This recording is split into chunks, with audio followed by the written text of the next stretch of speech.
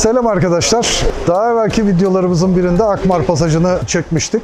Hatırlarsanız Akmar Pasajı'nda Zihni'ye konuk olmuştuk.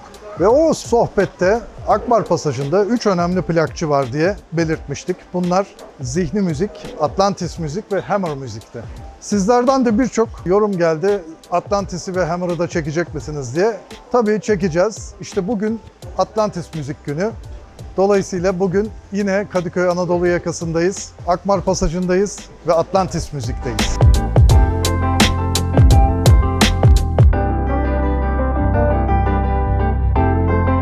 Selam kardeşim, ne haber? İyi abi sen nasılsın? Hoş geldin. Eyvallah. Ne yaptın, ne ettin? Aynı abi. Aynen.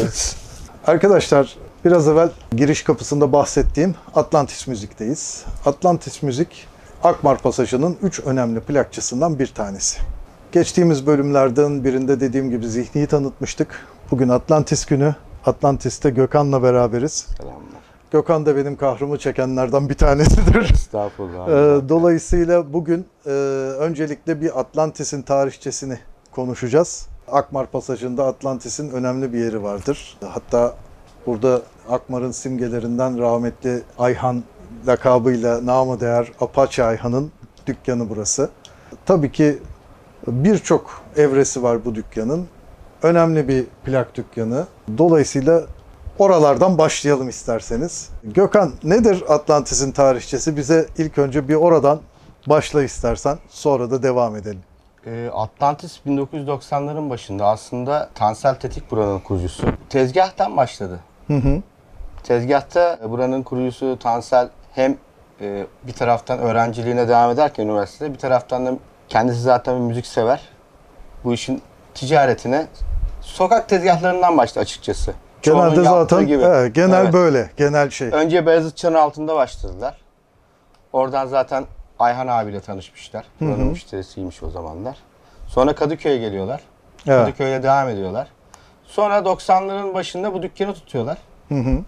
Ayhan abiyle arkadaşlığı devam ederken buranın e, eleman ihtiyacı oluyor. Tansel Ayhan abi çağırıyor. Ayhan abi de 93-94 gibi çalışmaya başlıyor burada. 20 sene kadar burada kalıyor. Orada Atlas Müzik buranın mekanının olması dışında e, özellikle Tansel'in girişiminde birçok müzik label'ı getirmeye başlıyor. Evet. Darbulas, Roadrunner, Evet. e, birçok önemli müzik label'larını ve onun çıkarı sanatçıları dinleyicilerle buluşturuyor. Daha sonra organizasyon işine giriyoruz. Megadeth'i ilk getiren organizatör firması oluyoruz. Orphan Land'i getiriyoruz. Birçok grup getiriyoruz. Sonra kendimiz Atlantis etiketiyle yerli metal gruplarına destek verip birçok metal grubunu çıkardık. Ve yıllar boyunca bir şekilde Nevi Şahsına Münasır Atlantis geleneği Evet. devam etti. Kısa tarihçesi böyle. Evet. Şimdi Atlantis'te şöyle bir şey var. Ee, mesela zihniden farkı nedir diye sorabilirsiniz. Onu da söyleyeyim. Zihnide tabii ki çok fazla adet bulma imkanı var. Atlantis'te o kadar çok adet yok ama Atlantis'te de mesela rock müzik ve caz müzik yoğunluğu var. Ee, orada çok nadir şeyleri bulma imkanı var. Yani rock müzikten ben de mesela çok enteresan şeyler buluyorum bazen. Çünkü Tansel sürekli yurt dışına gidiyor. O kendi zaten rock müzik dinliyor. Dolayısıyla onunla alakalı alışverişler yapıyor. Olmayacak şeyleri buluyor. Çok nadir şeylere rastlama imkanı var her zaman Atlantis'te. Bir de hani rock müzik ve caz müzik olarak e, ciddi bir arşiv var. Ee, Yani adet belki zihni kadar yüksek değil ama burada da gerçekten nadir şeyleri bulmak e, fazlasıyla mümkün.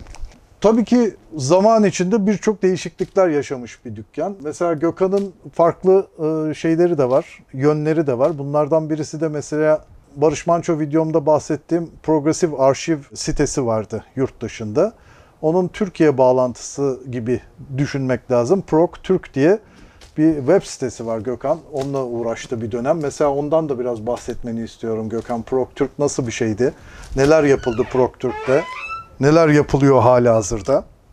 Şimdi ProTürk'te neredeyse e, 2000'lerin başında önce Mynet grubunda progresif rock seven insanların buluştuğu bir forumdu. Sonra bunu forumlara Türk Rock foruma taşıdık. Oradan bir iki tane genç e, Prog Türk'ü kurduğunu bize iletti. Anıl ve Muhsin. Bizi davet ettiler. Siz hani progresif rock seven insanlarsınız. E, bizim sitemize gelir misiniz? Biz de oraya bir nevi bu müziği sevenler olarak orada yazışmaya başladık. progtürk.com diye. Sonra bu asıl popülerliğini 2010'ların başından itibaren Facebook grubunda Evet. arttırmaya başladı. Biz bu işe gönül vermiştik. Çok yazdık, çok çizdik. Amacımız bu müziği insanlara sevdirmek, organizatörlere cesaret vermek, gelmeyen grupları progresif rock grubuna getirtmek, Gibi. ee, genç gruplara, çalanlara cesaret vermek ve dostluk kurmak ve bunları büyük ölçüde başardık. Burada e, organizatör arkadaşlarım oldu, onların bağlantıları da oldu. Mesela hayal ettiğimiz Kemal grubunu Evet.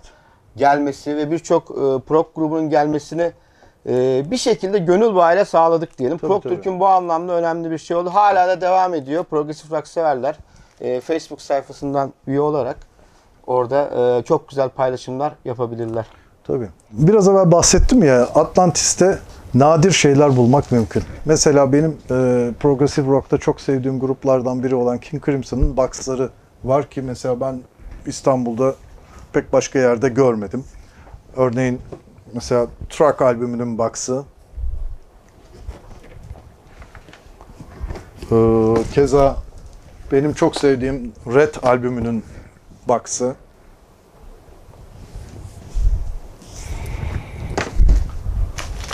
Ve tabii grubun en iyi albümlerinden biri. Lux Tongues in a Speak.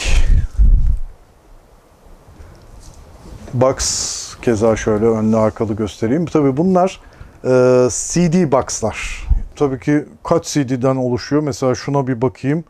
Yaklaşık 15 CD gibi bir box. E, çeşitli farklı mixler, farklı stüdyo çalışmaları gibi meraklısı için bulunmaz nimette şeyler bunlar. Bu tip nadir bulunan şeyler e, var Atlantis içerisinde. Tabii şimdi yukarıda mesela çeşitli şeyler var. Mesela şurada Amondül 2'nin unutulmaz Yeti albümü var. Mesela bizim rahmetli Apache Ayhan'ın en sevdiği albüm de o. Ayhan da işte buralardan bizi seyrediyor. Muhtemelen diyor ki ya benim hakkımda ne konuşuyorsunuz yine siz filan diyordur. Onun öyle bir tarzı vardı.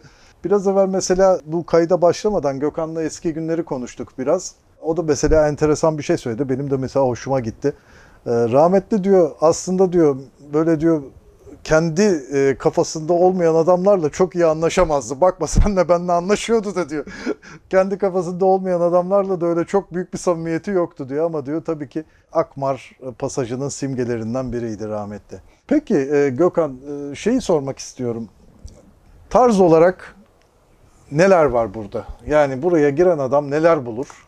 Hangi tarzları yoğunlukta bulur? Hangi tarzları biraz daha az bulabilir gibi. Şimdi her plakçının kendine has bir özelliği var. Aynen. Bizim de yani sorunuzun cevabı olarak klasik rock, psychedelic rock, progressive rock ve jazz arşivimiz gerçekten yani yurt sınırlarının haricinde e, Önemli. Avrupa dışında önemli arşivlerden birine Önemli. sahip. Yani çok detaylı ve bunda da yani bu müziği bilen ve bu müziği seven kişilerin e, bunu getirmesinin ve kovalamasının çok büyük payı var. Gerçekten e, o müzik ruhu Atlas müzikte hep olduğu için ha tabii sonuçta ticaret yapıyorsun ama burada hep de bir ruh da oldu. Tabii. O ruhun etkisiyle zaten bilinmesiyle de kuruluyor Tabii. ve buranın müdavimleriyle beraber biz birbirimizi geliştiriyoruz. Aynen. Buranın müdavimleri vardır. Çok iyi müziği bilen insanlardır. Ben bile Prog Türk'ten bahsettim ama 6 sene önce buraya geldikten sonra benim ben müziği yeniden burada öğrendim. Sizin sayenizde bir sürü müdavimlerin sayesinde Doğru, fikir doğru. alışverişiyle müziğe bakış açım da değişti Doğru. bir aile.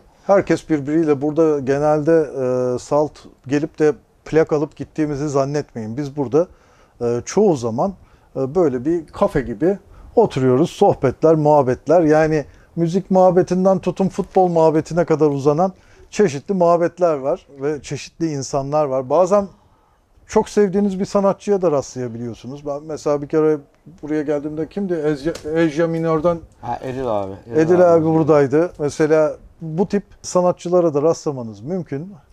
Ama burada herkes eşit. Herkes bol bol muhabbet eder. Herkes kendi evindeki plakları anlatır. Yeni dinlediği bir grup vardır. Onu dinlediniz mi der. Böyle bir etkisi vardır Atlantis müziğin insanlar üzerinde. Peki mesela şu bölüm e, gördüğüm kadarıyla biraz daha böyle hard rock, metal, Metal gibi Evet.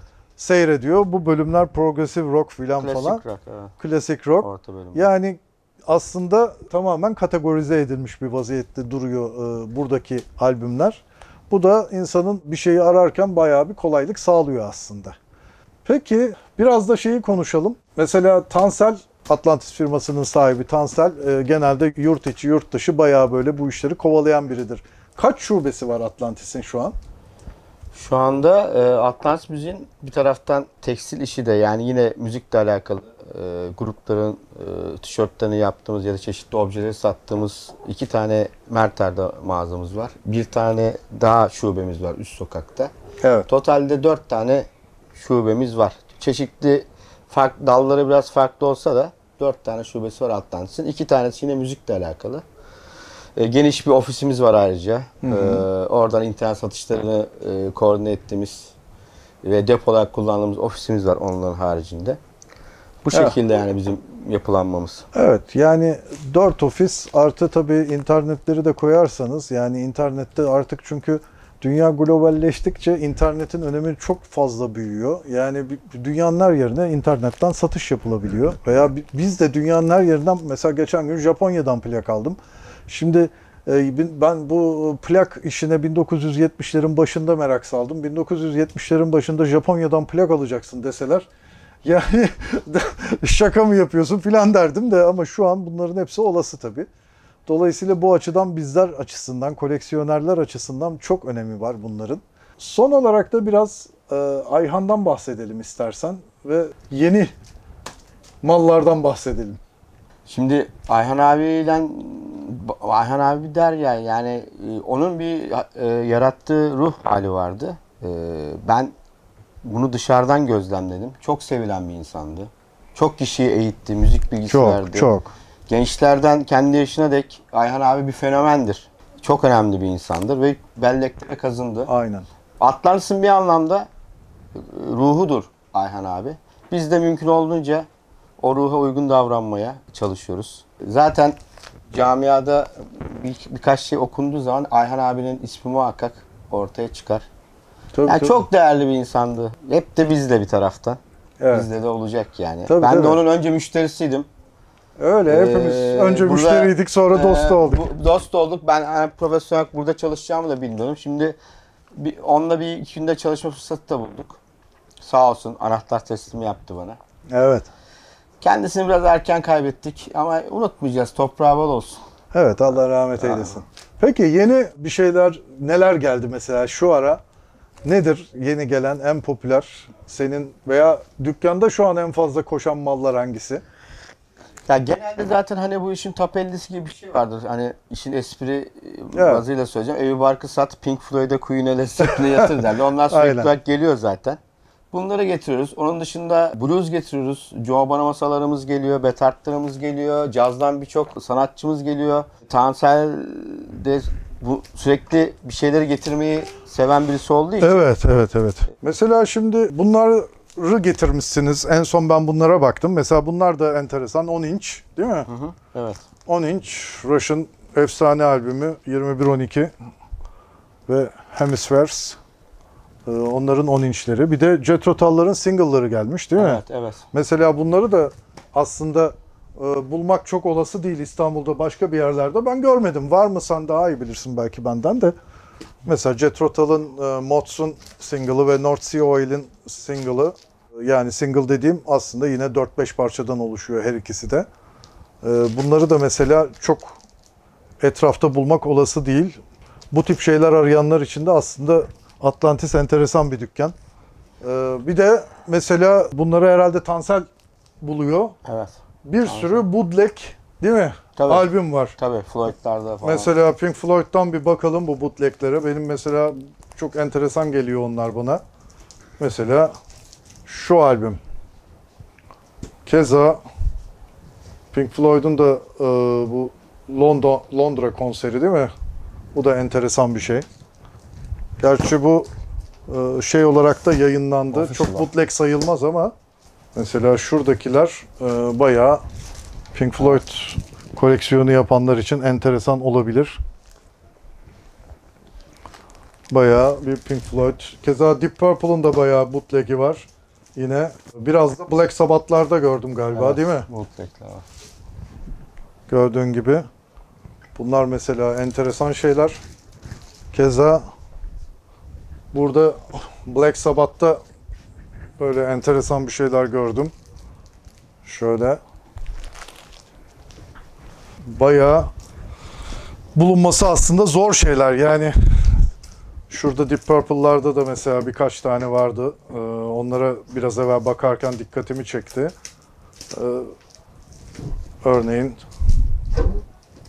işte Stockholm konseri falan gibi. Atlantis'in özelliği de bu. Enteresan bulunmayacak şeylerin bulunması.